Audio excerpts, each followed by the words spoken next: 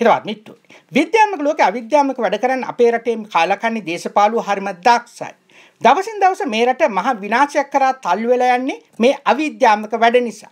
අවුරුදු 72ක නිදහසක් ගැන කයිවාරු ගැහුවට අපේ රටට මේ වෙනකොට පාන් කියා ගන්න බැරි කාලකන්‍ය ආර්ථිකයකට තමයි මුහුණ දෙන්න සිද්ධ වෙලා තිබෙන්නේ. මේක මහා අවාසනාවන්ත තත්ත්වයක්. විශේෂයෙන්ම අපේ රටේ ඉන්න කාලකන්‍ය හාල්පාරු දේශපාලුවෝ නිරන්තරයෙන්ම විශ්වාස කරන්නේ තමන්ගේ ශක්තිය ගැන නෙමෙයි දේව බලය ගැන. එහෙම නැත්නම් නොපෙනෙන බලවේග ගැන.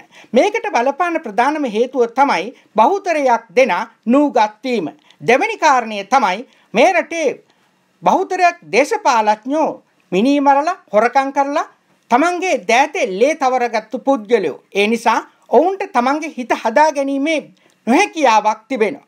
මේ නිසා ඔවුන් නිරන්තරයෙන්ම නොපෙනෙන බලවේගෙ පස්සේ යනවා.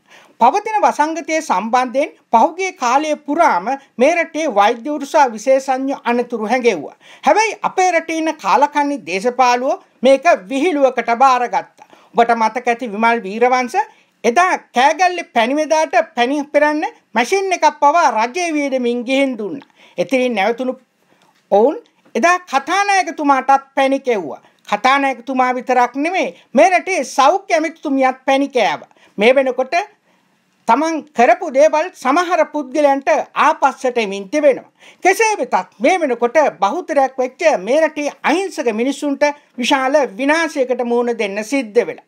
පහුගිය දවස්වල කෑගල්ලේ පැණිවෙදා නිරන්තරයෙන්ම කියපු කතාව තමයි තමන්ට කාලිගේ බලපෑමක් තියෙනවා කාලිත් එක්ක එකතු වෙලා තමයි මේ බෙහෙත හැදුවේ කියලා. මේ වෙනකොට කාලිගේ ගැන විශ්වාසය තියන් හිටපු පැණිවෙදා පැණි පෙරෙනකන් ගුටි කෑවයි කියලා සමහර පුද්ගලයෝ කෑගල්ලේ කියනවා.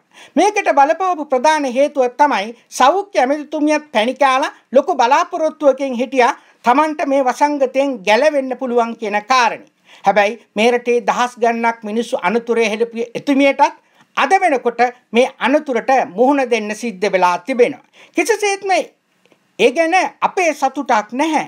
හැබැයි මේ රටේ කාලකන්ණි දේශපාලුවෝ නිරන්තරයෙන්ම හිතපු දේ තමයි බහුතරයක් දෙන අමාරු වැටුනට තමන් ආරක්ෂිතයි කියන කාරණේ.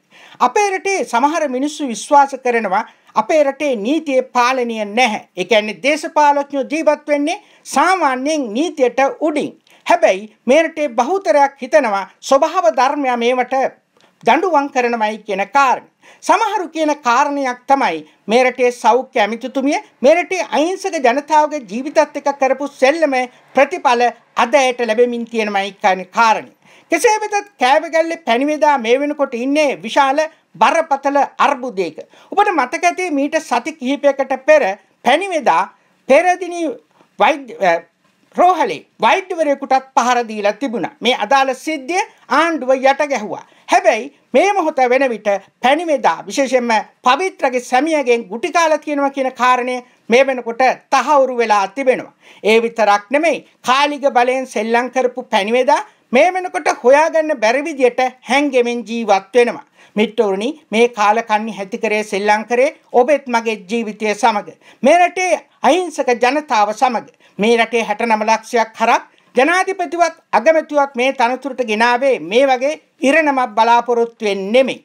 ඒ නිසා මේ කාල කන්නි ක්‍රමය වෙනස් කරන්න පුළුවන්. ඒ ගැන දැක්මක් තිබෙන, සලස්මක් තිබෙන සමාජ දේශපාලන කණ්ඩායමක් සමග අපි පෙරට යමු. මිත්‍රෝනි, අර්ගලන්තු ජයග්‍රහණය නොවිතු ඔබට සිහිපත් කරමින් මා ඔබෙන් සමුගන්න.